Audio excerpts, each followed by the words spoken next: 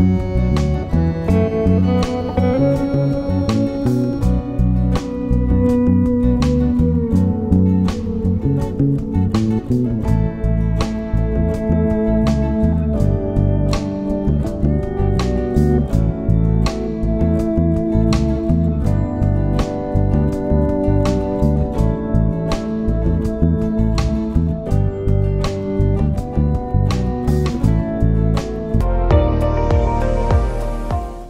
learn how to change your skiing, head over to bigpictureskiing.com.